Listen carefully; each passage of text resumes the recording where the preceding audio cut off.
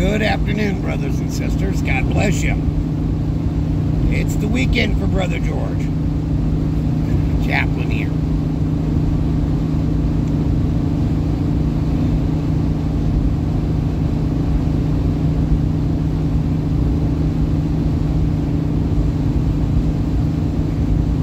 Have you ever thought, and I was trying to think of how to say this, guys. Have you ever had that one person, no matter what you do, no matter what you say to them, even though it's your job to tell them what they need to do, they never do it. Everybody else asks them to do something and they jump on it. A yes man for everyone else but the department he's supposed to be in. What would you do in that situation?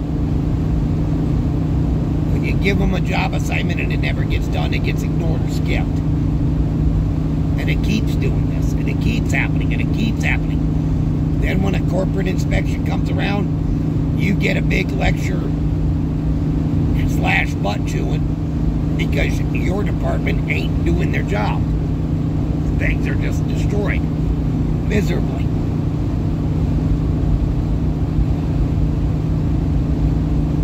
What do you do in that situation?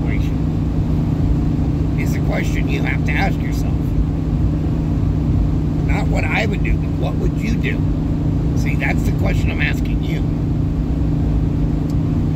What would you do in this kind of situation if it's your job and it's your requirement to lead your team? Regardless of the title, regardless of extra pay, it's your job as the lead person, the main guy, to ensure that everybody's doing their job so that management doesn't have to ask.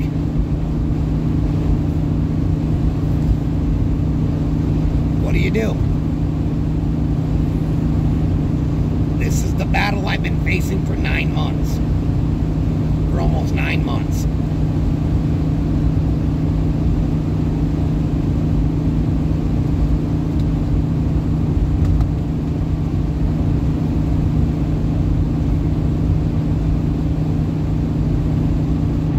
It's the battle I've been facing for nine months, guys. And it's stressed. It's reached its boiling point today.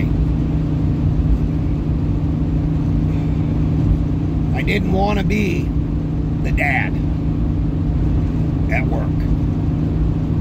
I don't want to be a dad at work. I'm a grandpa. I've done the dad thing for too many years. Being the leader, being the go to guy. But today it came to a head. I said what needed to be said. That he's either going to go and stay in our department and work, or he's going to go in the store and work. It can't be both. He has to make a decision. Because I'm tired. I'm tired of the stress. I'm tired of having to put all the flack on my shoulder. No compliments on what we did right, but everything what we do wrong is thrown in our face. For years, it's corporate America. It's all right. I got big shoulders. I'll take flack for it. But I'm done being nice. I mean, it's the only option I have is to be the mad dad at work. Just like Paul when he had to stand up to the unruly Corinthians. Those in Macedonia and Laodicea. All of Corinth.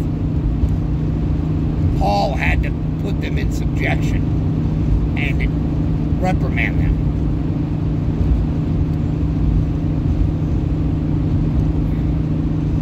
When is it going to be enough? See, as a pastor,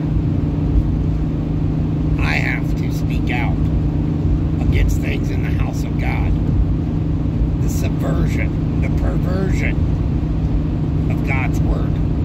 To fill seats because people are afraid to step on toes, afraid that that person won't come back.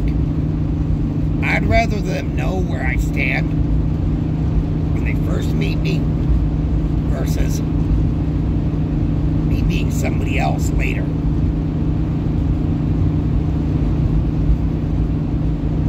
You have to take a stand.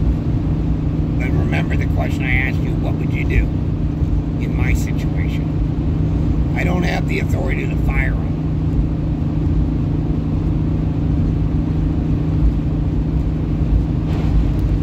I don't have the to them up. I have to lead them.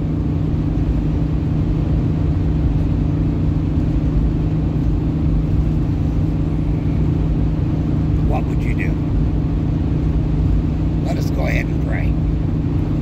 Heavenly Father, we thank you and praise you. We ask first, forgive us our trespasses, as we forgive those that trespass against us, O. Give us strength in hard times when discipline is necessary to do so without sinning, without falling short. Give us courage and strength of God to have the right words to say.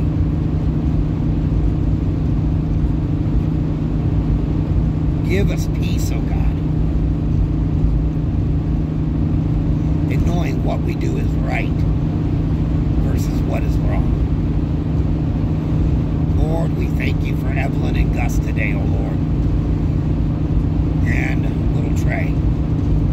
Lord, he's young, he's battling it too. Deliver him from whatever illness it is. And all our brothers and sisters right now, O Lord.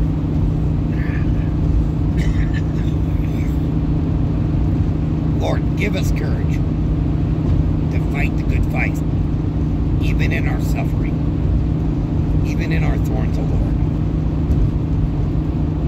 Give us peace in knowing what we are doing is the right thing, no matter if the world sees it as